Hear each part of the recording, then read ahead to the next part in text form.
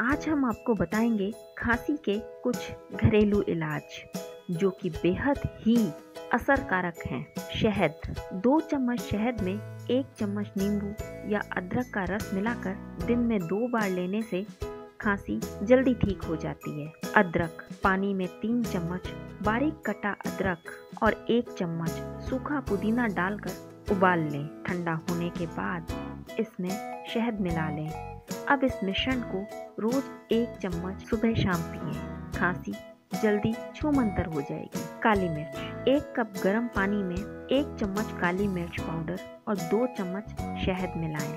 पानी हल्का गुनगुना होने पर ही शहद मिलाएँ। इसे दिन में दो बार पीने से खांसी जल्दी दूर हो जाती है हल्दी, दूध में हल्दी पाउडर रोज़ाना दिन में या रात में पीने से खांसी जल्दी दूर होती है। इसमें काली मिर्च ज़रूर मिला लें। Bureau report D five channel Hindi.